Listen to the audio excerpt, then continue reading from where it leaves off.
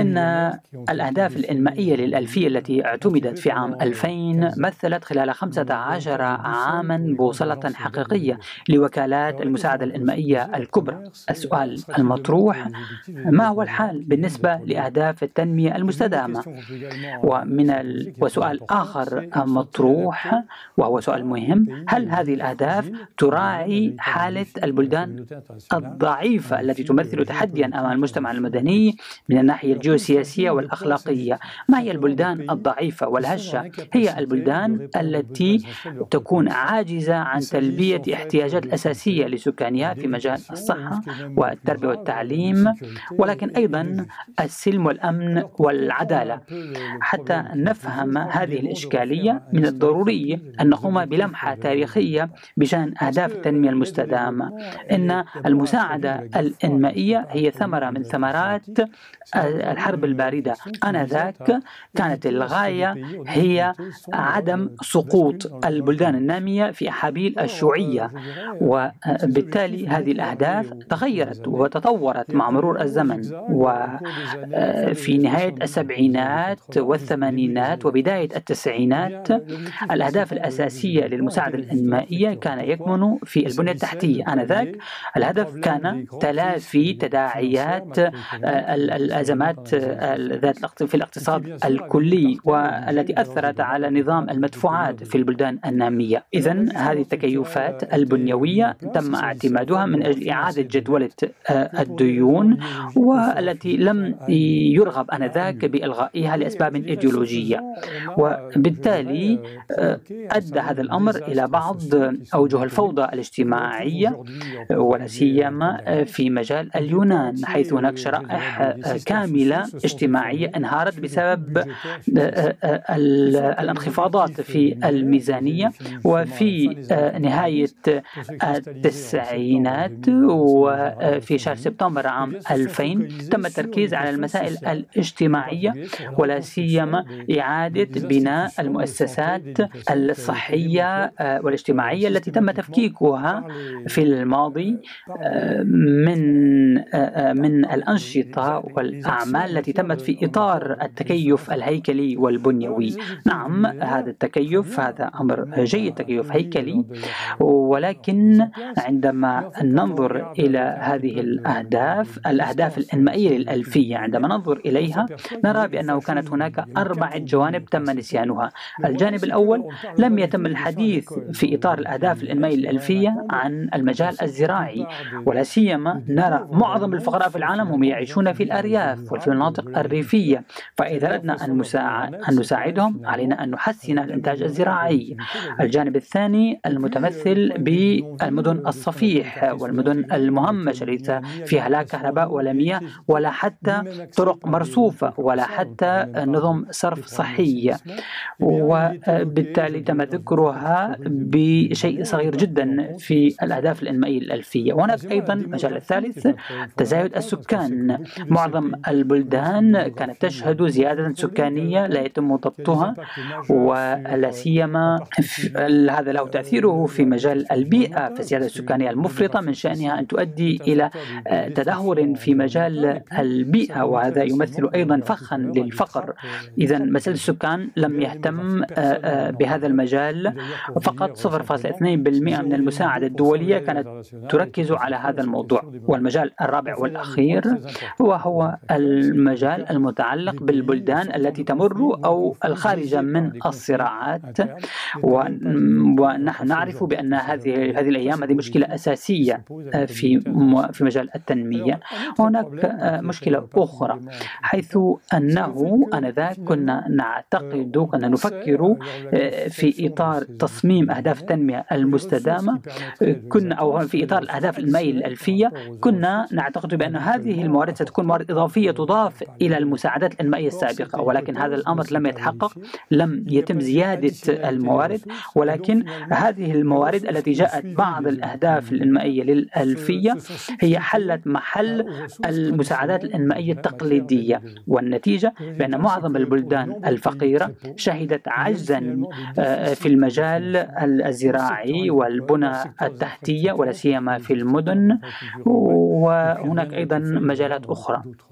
وعيوب أخرى الآن نعود إلى إشكالية أهداف التنمية المستدامة ما هي هذه الأهداف؟ عددها 17 هدفا وهي أهداف غير متجانسة هناك أهداف تأتي في إطار الاقتصاد الجزئي وهناك أيضا من جهة أخرى أهداف تتمتع بطموحات كبرى وهي ذات أبعاد عالمية وكونية ومن الصعب تصنيفها إذا على عكس أهداف الإنماء الألفية التي كانت تستهدف البلدان النامية. أما أهداف التنمية المستدامة فهي تستهدف كل البلدان. وبالتالي فهي من شأنها أن تلبي الاحتياجات على اختلافاتها كالصين والولايات المتحدة وفرنسا وأفغانستان والنيجر أو حتى مالي.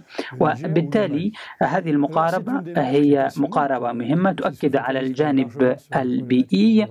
وبالنسبة لي هذا جانب جذاب جدا جانب جذاب جدا ونتمنى ولا سيما بالنسبة لأطفالنا ألا يعيشوا في الكوارث البيئية ولا سيما إذا استمر السيد ترامب في أفكاره الجنونية.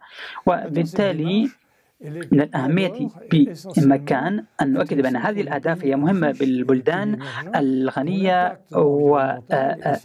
والصناعية التي لها أثر على البيئة ولكن في البلدان الفقيرة فالأهداف هي مختلفة فيها. فمعظم هذه الأهداف أهداف التنمية المستدامة يتم تطبيقها بصورة صعبة في هذه البلدان. طبعا الهدف السادس عشر من هذه الأهداف الذي يستهدف إيجاد مجتمع مزدهر يسود فيه السلم وبالتالي نشعر بأنه نستطيع أن نلبي هذه الأهداف في هذه البلدان الفقيرة. ولكن ما هي الحالات الطارئة ذات الأولية في البلدان الهشة والضعيفة؟ التوظيف والعمل ولا سيما فيما يتعلق بالتنمية الزراعية. معظم الناس في هذه المناطق يعملون في الزراعة. ولكن هذا القطاع تم نسيانه منذ الثمانينيات. وهناك أيضا التكوين والتأهيل الفني وهو أيضا جانب منسي. وهناك أيضا البنى التحتية الاقتصادية التي تم تهميشها على على على حساب الجانب الاجتماعي. وبالتالي نرى في هذا الإطار ولا سيما في العمل والتشغيل والتوظيف ليس هناك دليل للاستجابة لهذه الإشكالية. الإشكالية الثانية الضرورية آه، والطارئة للبلدان آه، آه، النامية هي الجانب زيادة السكان وتحديد النسل. هذا مخطط يبين معدل الإنجاب في هذه البلدان. معدل الإنجاب هو متوسط عدد الأطفال لكل امرأة طيلة حياتها.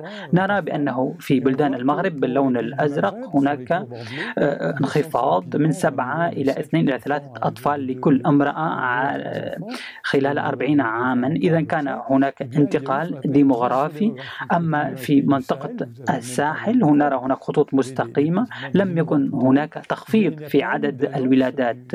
هذه البلدان الآن يزداد فيها السكان بشكل كبير جدا. سأعطيكم مثال النيجر. عددهم كان 3 ملايين عند الاستقلال.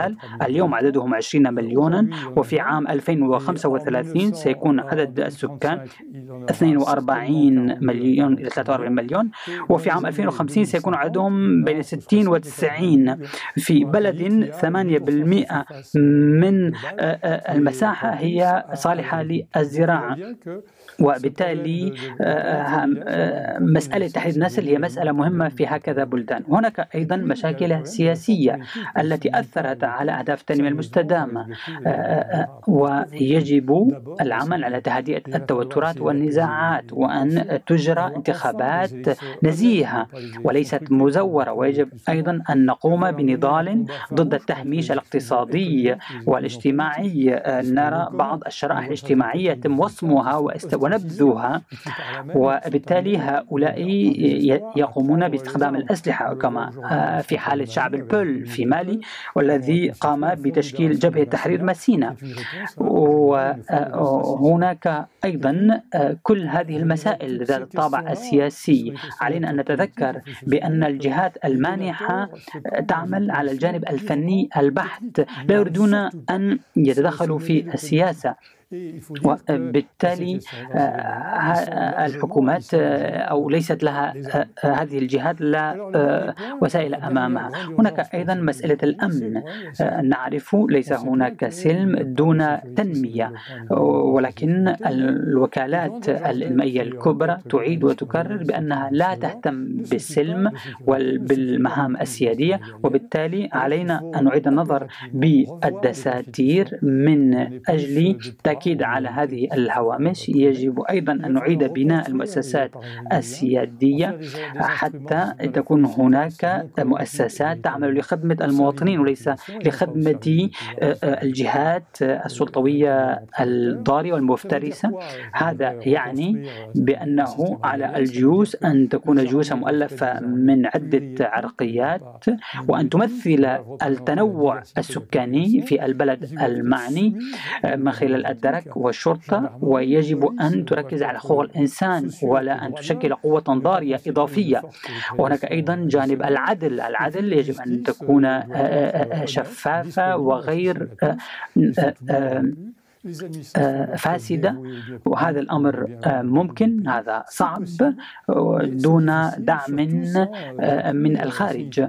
وهذا الأمر الضروري من الضروري أيضا أن نعيد بناء الدول لأنه عندما تفشل الدولة المافيات هي التي ستحل محل الدولة هنا مخطط تبين طريق وصول الكوكايين من أمريكا اللاتينية مرورا بغرب أفريقيا وصولا إلى السوق في أوروبا الغربية.